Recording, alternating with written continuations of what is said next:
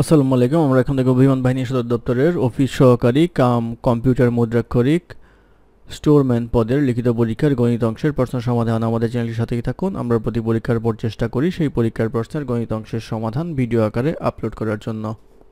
অঙ্ক শুরু হবে নয় নম্বর অঙ্ক দিয়ে। নয় নম্বর অঙ্কে বলা ছিল, শতকরা বার্ষিক যে হারে কোনো মূলধন ছয় বছরে মুনাফা মূলধনে দ্বিগুণ হয়, সে হারে কত টাকা চার বছরে মুনাফা মূলধনে দুই হাজার পঞ্চাশ টাকা হবে। তো আমরা এখানে প্রথমে বলা আছে ছয় বছরে মুনাফা মূলধনে দ্বিগুণ হয়।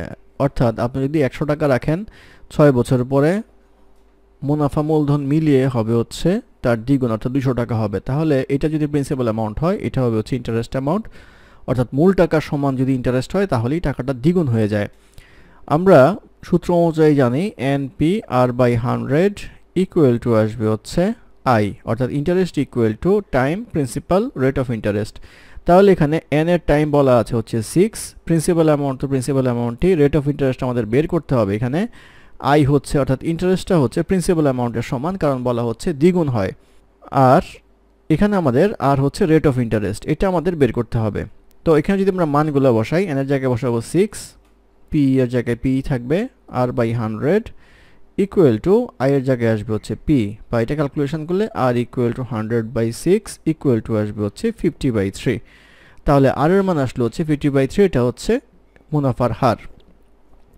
এখন বলা হচ্ছে সেই হারে কত টাকা চার বছরে মুনাফা মূলধনে দুই হাজার পঞ্চাশ টাকা হবে?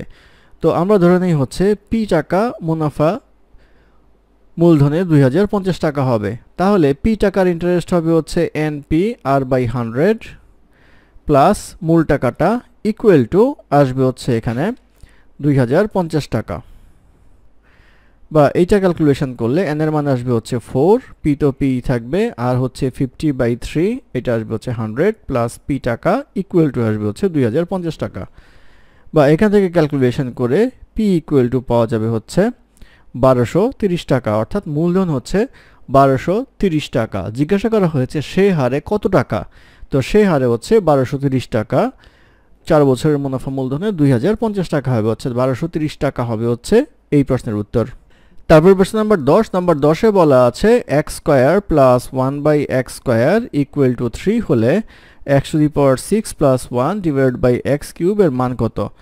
তো এটা ক্যালকুলেশন করলে পাওয়া যাবে হচ্ছে A plus B whole square minus two X one by X equal to three বা X plus one by X whole square equal to আসবে হচ্ছে three plus two equal to five বা X plus one by X equal to আসবে হচ্ছে root over five আর এটা যদি করি, তাহলে আসবে হচ্ছে X cube plus one by X cube এইটা করলে পাওয়া যাবে হচ্ছে X plus one by X whole cube three X one by X into X plus one by X এটার মান আমরা পেয়েছি হচ্ছে root five root five whole cube minus three এটা এটা কাটা রুট ফাইভ এটা করলে পাওয়া যাবে root five root five root five minus three root five root five root five গুণ করলে আসবে হচ্ছে five five root five minus three root five equal to আসবে হচ্ছে টু রুট ফাইভ অর্থাৎ নির্ণয় মান হবে হচ্ছে টু রুট ফাইভ এটি এই প্রশ্নের উত্তর। তারপরে প্রশ্ন নাম্বার এগারোর ক, এগারোর কতে বলা আছে, দশ সেন্টিমিটার ব্যাসের বৃত্তের পরিধি কত সেন্টিমিটার? দশ সেন্টিমিটার ব্যাস যদি হয়, তাহলে দশ হচ্ছে টু আর এর সমান, আর পরিধি হচ্ছে টু পাই আর এর সমান, তাহলে এটা লেখা যায় হচ্ছে two R into pi two R এর মান যেহেতু দশ, আর পায়ের মান প্রশ্ন দেওয়া আছে হচ্ছে থ্রি পয়েন্ট ওয়ান ফোর তাহলে আসবে হচ্ছে thirty one point four সেন্টিমিটারে thirty one point four centimetre হবে হচ্ছে পরিধি, এটি হবে এই প্রশ্নের উত্তর।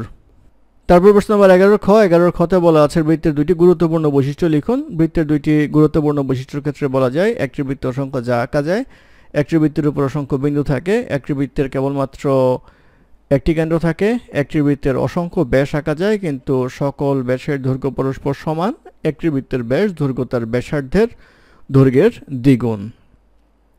ধন্যবাদ আমাদের সাথে থাকার জন্য। আমাদের চ্যানেলটি ভালো লাগলে অবশ্যই সাবস্ক্রাইব করবেন লাইক কমেন্ট এবং শেয়ার করবেন। নাকি কোনো সমস্যা থাকলে আমাদের কমেন্টে জানাবেন। আমরা চেষ্টা করব কমেন্টে রিপ্লাই দেওয়ার জন্য। ধন্যবাদ।